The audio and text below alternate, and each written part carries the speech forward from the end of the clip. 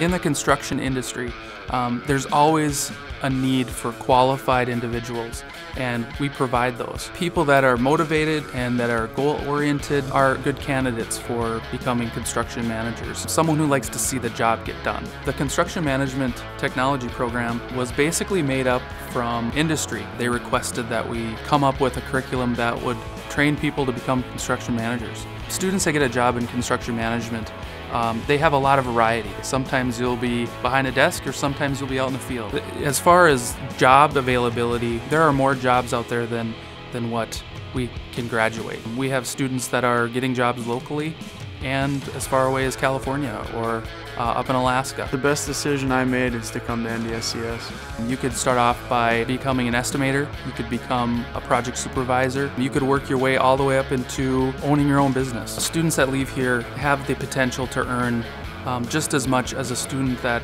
graduates with a four-year degree. I love helping the students, seeing the light bulb go off. I love being on the leading edge and knowing what's going to come next. One nice thing um, about this department is we have 10 faculty that teach to their expertise. We're available for the students at any time. The building that we're in just currently got remodeled, so we have top of the line classrooms. Students, I can see sometimes they walk in and you can just see the level of professionalism go up. When graduating high school, I took a tour here at NDSCS and it's the only tour I needed to take. A lot of what we do in class are hands-on. Students that, that come here get a great education in top-of-the-line facility and end up getting a career.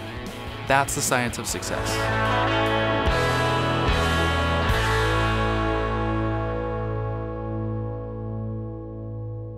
Um, Take five.